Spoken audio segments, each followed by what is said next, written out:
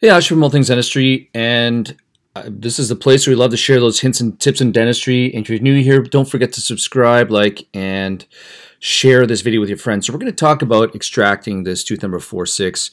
And there's a couple crazy things you'll see here. We're using a periotome. If you're not familiar with those, it's very, it's simply a great instrument. You'll see how we use that to wedge out a tooth. The second part is you're going to be seeing a rubber dam and doing this extraction. Third, we're going to talk about some uh, ridge preservation. And then fourth, we're going to talk about uh, what does a cone beam look like. So without further ado, let's start with looking at the cone beam and how, why was this tooth taken out? So the reason why this tooth was taken out is if you can see, this is tooth number 47 here in this patient, and he was asymptomatic, but on a, on a bite wing radiograph when he came in for his exam, um, this patient, David is his name, he's a really nice patient, about 45 years old, no history of trauma, no history of, of uh, orthodontics, um, but he did have this uh, crazy in image, you can see radiolucency on the on the uh, bite wing. So we took a cone beam of it. You can see here is the external cervical invasive resorption. So if this is we're looking from the axial section here, but if we look from the coronal on tooth number 4-7, you can see more of that um, destruction of that tooth. So it's kind of right in the middle of the tooth. So if this is the tooth number 4-7, this is the lingual, this is where the tongue is, the lingual border. This is the, you know, the buccal shelf, not the buccal shelf, but almost the buccal shelf starting. And there's a restoration on the tooth. Here the roots, and then you can see this dark radiolucency there, or rarefaction. Uh, that is fairly significant. It goes right into the pulp. And the patient was asymptomatic, but he was starting to feel a few symptoms uh, about a month after we initially saw him and had the cone beam taken. So let's take a look from the sagittal here. You can see it. Look at the size of that destruction. So we really, you know, I, I've tried to honestly try to remove this size, not quite this big, but tried to remove these resorptive lesions in the in the past, and then it's actually quite difficult to save these teeth. So we deemed this one non-restorable. So our this appointment, what we did was we're going to extract this tooth under local anesthesia. Great patient. So this is him here. We've got, uh, this is, I don't know if you do it yet, but I linked this to my iPhone. I use uh, this, they're cheap. They're MPOW from uh, off of Amazon. They've got active noise canceling, and I just play a playlist that's downloaded on my iPhone. And I don't even have Wi-Fi in this in this part of the building, so just listens to a playlist and it cancels out all the knowledge. And actually, what's helpful is that Angela and I can talk and do our job. Um, we can do it quietly, but we don't, you know, we can talk back and forth, and the patient is kind of, you know, in their own zone. So because it's tooth number 4-7, we give him an inferior alveolar nerve block with a, um, I've actually given him um, with lidocaine, I've given him a buccal, long buccal, and I've also given a, in a uh, an infiltration with some articaine, but it's still, I cold tested the tooth. Here I come up with my gun. I cold tested the tooth and he's still feeling symptoms. So really what I've done now is, and I really focused a lot on endo, is give him a intraligamentary. So we're using the Ligmaject or my PDL gun, and there's just lidocaine here, and I'm just going to go, I'll hit go here, let me turn this down. We're just going to hit. Yeah, nice. Any pain? So what I find is that they'll feel a bit of pressure. Sometimes not. And I'm looking for, I'm just going to, so this is an ultra short, I should stop, stop back. Let me go backwards here for a sec. This is an ultra short 30 gauge needle. And Dr. Steve taught me this, and I thought these would always break, but they don't. I've been doing this for five years now. And if I can't get, if I can't get a cold test negative, you know, lip, lip numbness does not indicate if that this tooth is numb. So the lip might be numb, but I'll tell you, doing enough endo on teeth, especially mandibular molars, that they might not be numb. So we'll do a cold test. And if there's percussion sensitivity, I'll also percuss to see if there's any pain. Uh, that way, I have confidence that when I go into this tooth, it's numb. The patient has more confidence because my experience has been like 98% of the time, if they don't respond to the percussion, if there was percussion pain prior to anesthesia or cold, they don't respond to either of those. 98% chance they're going to be good to go for the most of the procedure. Uh, so I'm going to make sure that that tooth is numb, and it's not numb at this point. Maybe we didn't wait long enough for the inferior alveolar nerve block. Sometimes it takes up to 30 minutes. But what I have learned is using a 30 gauge needle with just lidocaine in the mesial, you know, in the mesial and in the distal. Yeah, nice. Any pain? No. So some, like I said, sometimes they'll feel pressure, sometimes they won't, and I'll just get. Well, I don't even get her. She just is an amazing dental assistant. She'll just do it on her own. She's she's tracking. So right there, what you saw right there, I forgot this happened. Right there is I was pushing too much pressure. Watch this. Let me go back. So too much pressure too fast because this PDL space is really small. So you can put a lot of pressure on. That's the beauty of the lever action of this gun. But what will happen is that the cartridge will actually break. So don't give up. That doesn't mean don't stop. These rarely, some of these uh, PDL injectors have a little plastic sleeve in this in this cartridge. You know what I'm gonna what I'm gonna tell you now is reload, redo it again, and go slower. Just go slower because this injection here will make all the difference. So let me reload here. She's gonna, and you know what I do is we tell the patient it's a really bad taste because you know it's gonna get all over the place. So we're gonna redo it again. Same spot. Yeah. gonna use some more free numbing here, okay? We go nice and slow. And like I said, you can there, slowly see it here moving. Maybe I'm going. Well, you can see it moving. Patient is totally numb. That's my main concern is making sure patients are numb and they can't feel what I'm doing.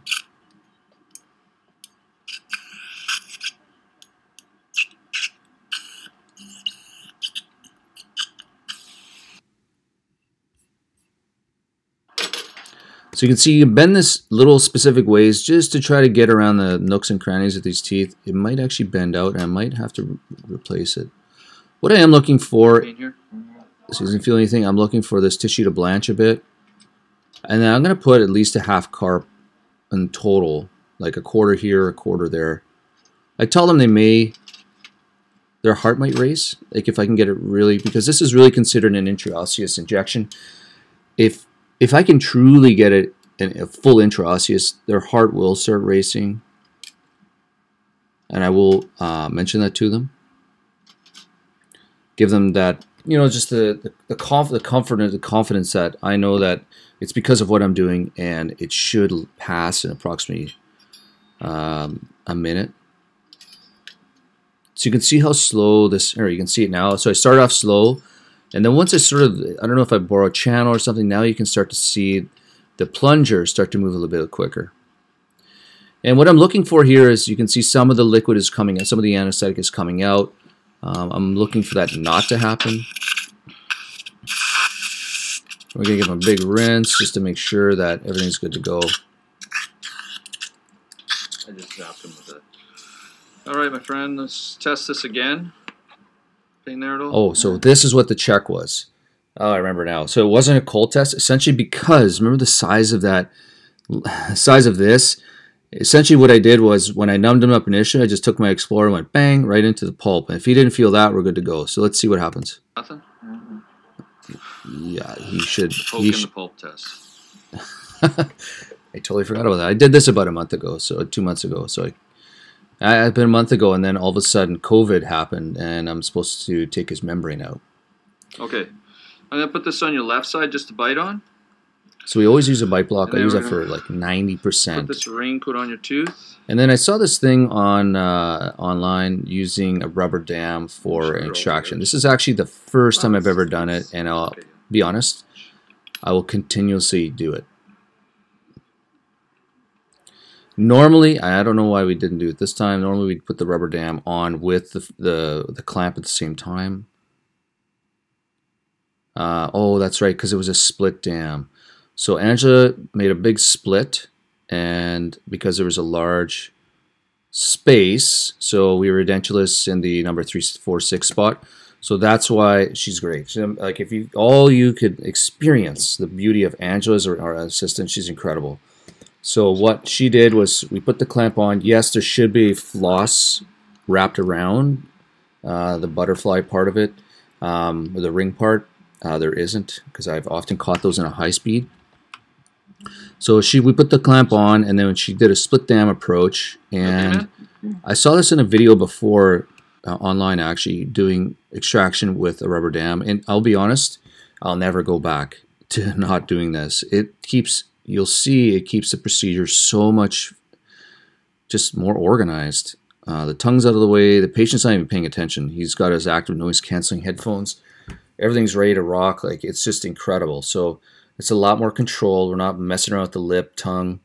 Um, and especially rinse like water from our uh, 45 degree angle handpiece. I think it's an NSK or surgical handpiece. There's no water. It's just incredible. So what I'm going to do first, let's see what I do first. I'm using these instruments called a periotome. If you haven't used one, they're they're absolutely necessary for an atraumatic extraction technique. Um, there's lots of different ways of doing these extractions. Really, essentially what we're trying to do is we're trying to preserve the cortical plates. Uh, the interseptal cancellous bone, I'm not too worried about. You know, and one of the things you got to be concerned with is if, you know, we're going to wedge this apically, try to get some blood flow, some uh, some hemo, um, not hemostasis. I don't know why I'm thinking that right now. We're trying to get some blood flow into that PDL, and you know, one of the things that we're going to do is you're going to place your, you know, if you've been classically trained, you're going to place your elevator here, and then you're going to pop out by accident the the 4-8. So we don't want to do that. So we don't have a lot of places to wedge uh, an elevator in here. So likely we're going to use our periotomes to try to sever some of those um, interseptal fibers and the transeptal fibers, all the fibers that are um, at the coronal portion. And then what we're going to do is we're going to try to wiggle this out with uh, forceps because we're not going to get a lot of um, movement with a with an elevator. And it's taken a lot of extractions, thousands for me to be able to slowly to have the confidence I can get that out. And I know that feeling. And that's the reason why I kind of wanted to publish this because it's just to watch the full technique. This isn't the perfect technique uh, by any stretch of the imagination. But I think there are a couple things that I've been doing now over the past 20 years that have kind of been helpful. And the first thing I can tell you is proper anesthesia. Make sure the patient's numb. That's the biggest one. If you're not doing uh, conscious sedation. So this is another version of the blade on the same instrument. It's just another periotome. I'm trying to induce uh, hemorrhage. There's the word I'm looking for. Hemorrhage in the PDL space to kind of uh, elevate that tooth itself. So I'm using, I'm going slow. And what I've learned is that patience, more patience and patience will get that tooth out versus trying to rush. Because I've rushed, I've messed up my landmarks, I've tried to take teeth out, and then during my residency, I had to get help, tail between my legs, help from my colleagues or the surgeon on uh, on the call. And the thing is, is that oh, sorry, my head's in the way. So replacing apical pressure, you can see it's pretty straightforward. We're just wedging that in there. I'm not doing any rotational forces because that'll probably break that blade. It's really, you know, it's thin and it's designed for compression. So pushing apically. There's a lot of, there's these proximators that I haven't tried. Uh, maybe try them, get them ordered. But you can see the beauty of the, the rubber dam so far is that it keeps the tongue out of the way. Like we haven't dealt with anyway. I mean, I mean don't, don't get me wrong, we're just starting. Uh, but patient's comfortable, my assistant's comfortable. I'm comfortable. I got this new Handycam camcorder from Costco I'm trying out that you're watching. And it seems to be working, so everything's good. So what we're going to do next, okay, let's fast forward here because it's,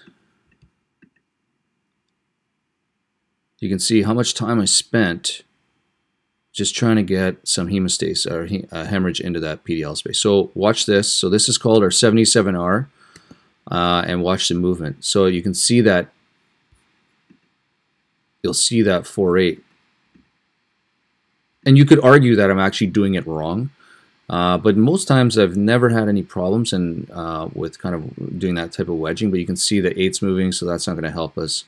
I'm going to try to wedge it against the soft tissue here a little bit maybe underneath the a little bit of the, the uh, osseous crest. Trying to get a little bit of movement, and literally asked Angela if she could see. I think you can hear it. Is that moving the tooth of the holding on to the frame? Watch, can you see it? Okay, you tell me it's moving. maybe just a little bit. yeah, it's, it's hard to tell, right? Subtle. So we're getting a little bit of movement. That's good. It's not ankylosed. So we try that a few times, and then she hands me the cow. She loves to, I don't know, hand me these cow horns. I don't know why. Uh, but I'm going to try to get in there, and pop, off comes a crown, which is a perfect move. So I think the critical point, this is what we teach our young dentists, is that if you can't get any movement or part of the crown breaks off, this is what you want before you start sectioning. You want to get rid of, because the problem is, imagine if this is you as a patient and you have this amalgam restoration, and you're going to section this too. This amalgam gets all in the tissues and everywhere. So, and this is what an old surgeon taught me, and I've done it to this day. Cut the tooth, section the crown off. All you need to do is section, take your 701 burr and cut sideways all the way to about here, and then crack that crown off. Because now from I'm not cutting through 10 millimeters of crown to get to the furcation to another uh, to another you know 12 2 3 millimeters to the furcation. I'm only cutting like say 6 millimeters from here and I can see it. They're straight across. And how many times have you gone to section a tooth and you sectioned you know you you, you started and you started here because the angle of the burr is such that you you cut half the distal root in half and then you're still fumbling around and you don't know where the furcation is. I mean, how many times have I done that? So, you know, great lesson here is before we take a look at the size of this absorption, resorption lesion, is if you're going to section teeth, you crack half of it off, cut the rest of the crown off, and then you can get a clear view of where you're going. That's a big beginner mistake. No one teaches you that. So you can see here's the size of so here we go. Size of the lesion is huge. You know, it's essentially all of that. Now imagine trying to save that tooth. Oh, it'd take you forever. And even trying to burn all that out. There's a there's a chemical called trichloroacetic acid used to burn the little tissue tags out. Um, it just takes forever. So that's what I mean. So this actually is a 703 burr, and it's way too big. And uh, I put it on my handpiece, and I was like, you know, this is way too big. Um, you need a 702 or 701. And this is what normally happens at this angle, you usually go ahead and section with the crown on, and then you cut, like I was saying, you cut half the distal root off, and you're still you still got two roots attached. You just cut off a sliver. How many times have I done that? So this burr is way too big to be able to get uh, a decent channel. So all you're trying to do is make a little channel and create space. So we're going to switch that out for 702, and she put it on there. Switch that out. So you can see at this time, there's still, there's not much to do. Oops. Sorry. There's not much to do as a dental assistant. I was going to say, look how easy it is. We're just sitting and chilling. So essentially what I'm doing is, okay, here we go. Okay. So I'm going to bring my burr in. I'm going to try to go straight, uh, straight up and down as possible. And I'm going to go right into that furcation and hit bone. And there's a difference between tooth structure and bone. And when you have this amount of, so the problem is, is that when you're cutting, if we look at the burr, I'm sorry, I really apologize for doing all this stopping, but when you have this burr and you cut this little channel and your burr diameter is actually, let's go back, the burr is not actually bigger than the shank. So my experience has been when you cut all this through, it's really tough. This little burr doesn't cut all this tooth structure. So you don't know, what am I saying? You don't know when you've gotten into bone or not in the in the uh, in the furcation. But when you're only cutting just dentin now, you know when you drop through. I mean, I if I haven't convinced you of cutting the crown off by this point, oh my gosh, Lucas, where are you? He did, I told him that, and he told him that secret, and he still didn't do it. So right there, you can see it just drops into the bone, into the furcation, and it's really simple. And my buddy Amir taught me just recently you know, like you can sacrifice that interseptal bone, keep the cortical plate as much as possible. So all I'm doing is creating a channel back and forth. I didn't even go all the way across. I'm going to stop about 90% because you don't need to. It's going to crack enough. It'll, you know, once you place that elevator in there, it's going to go click. And literally I'm using that elevator as a screwdriver. I'm just going to try to unscrew one of those root tips. Actually, in this case, I used a set. What was helpful actually was using that uh, Minnesota retractor in, in reverse. So you can see it's got the little the little back end uh, pulling back the tissue there, and the rubber dam is really helpful. So I'm just placing this in here, and this is this extraction is not going to go as simple as you think it's going to happen. So we're going to place force. That's all I'm doing is nice and light forces. I'm not going uh, buccal lingual because the lingual plate's really, you know, it's much thinner than the buccal uh, plate on this on the uh, on these teeth. Sorry, my hand's in the way. Okay, let's go here. So we're going down the middle, trying to turn. I'm trying to get some movement. And literally all we're trying to do is get movement of one of those roots. That's all we're doing.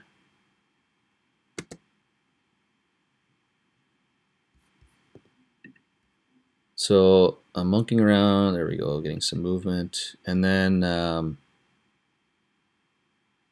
oh, she handed me this thing. I don't, the B point. Unless you have a purchase, I don't know why she handed me that. Unless I have a purchase point and something to angle it on, it would be helpful, but it was useless. So we're gonna, all we're doing is doing some wiggling. That's it. We're just wiggling, wiggling, wiggling. I'm not placing any forces. Sorry. Oh, there. So now you can see the forces. So we're gonna try with a simple set of forceps just to bring that out. We'll go back and forth, just nice and easy. And it will come out. It's pretty simple, actually.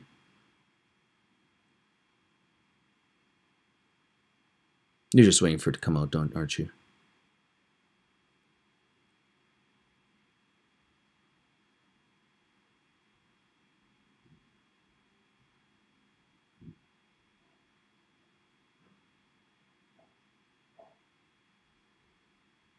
There we go. Oh, look at that. And the beauty of the rubber dam is that that slipped out. Now, normally you have a throat pack, but the rubber dam actually prevented that from going down the patient's, you know, in the back of the throat. So a throat pack is usually a bunch of either a 4x4 of gauze or a couple 2x2s. But there it is. So you can see where we sectioned it. Let's get that here. She grabbed it. So uh, you can't really tell. Okay. So now we got to get that piece out, which is really simple, or so I thought. So there's the interseptal bone. Here's the mesial extraction socket. There's the interseptal bone. So what we're going to do is that's not that important, that interseptal bone. So what we're going to do is we're going to try to weasel it out of there. And I couldn't weasel it out. So what I used to do is I lay this huge flap and then cut this buccal uh, buccal trough, but I don't do that anymore. So what I'm going to do is I'm going to cut right here I'm going to make this little groove. And actually, unfortunately, I made it a little bit too big. And I know where the angulation of that, that 4-8 is. It's going this way. So I'm not too worried about hitting it. So I'm going to make a groove. And all I'm going to do is I'm going to put a trough in. So that's the end of that video. I'm going to put a trough in. Ruby. Oh, where'd that other video go? So right, okay, there we go. I'm gonna put a trough in. So I'm gonna put a trough in, and I'm gonna get. Look what I'm doing. I'm actually removing some of that septal bone just so I, because it's soft. I'll get rid of that so that tooth can kind of fall out this way. And of course, my head's in the way. All right, so let's try to weasel that out of there. So I'm not engaging the tooth now. The 4-8, you can see now we got a little bit of movement. I'm just engaging. The problem was is that when I was going back and forth, I made that groove a little bit too big. I need to wear a hairnet or get my hair out of the way.